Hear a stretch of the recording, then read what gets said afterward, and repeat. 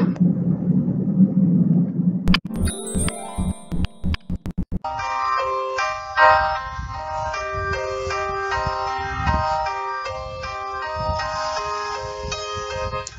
ஜேட்லி.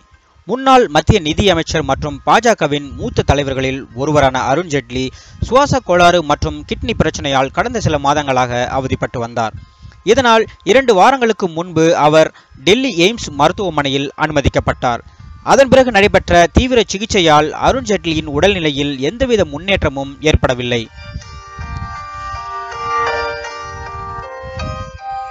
இதனால் டாக்டர்கள் அவருக்கு உயிர்காக்கும் செயற்கை சுவாசம் வைக்கப்பட்டு தீவிர கண்காணிப்பில் இருந்து வந்தார். இந்நிலையில் தற்போது அவர் சிகிச்சை பலனில்லாமல் காலமானார்.